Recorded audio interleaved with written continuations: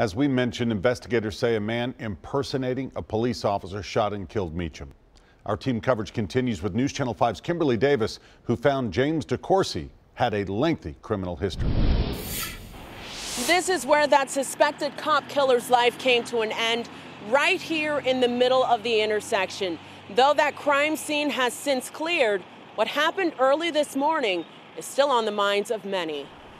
Gunfire rang out in the middle of Guthrie Highway early Friday morning. An accused cop killer gunned down by law enforcement in Montgomery County.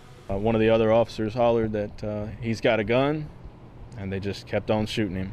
Jonathan Harper watched the scene unfold as officers shot and killed 35 year old James Decoursey after ignoring law enforcement's verbal commands. They probably shot him. I don't know how many times they shot him exactly, but I, I, I probably heard at least 10 or 12, 15 shots. Decoursey has been a wanted fugitive since February after walking out of a halfway house. In 2011, he was released on parole after pleading guilty to manufacturing meth and drug trafficking.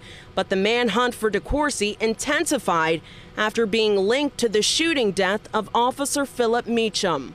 He worked with us for approximately 12 years.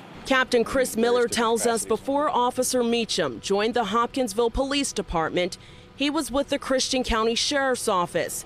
As the police department and sheriff's office prepare to bury their brother, it's a tragedy the community is trying to understand.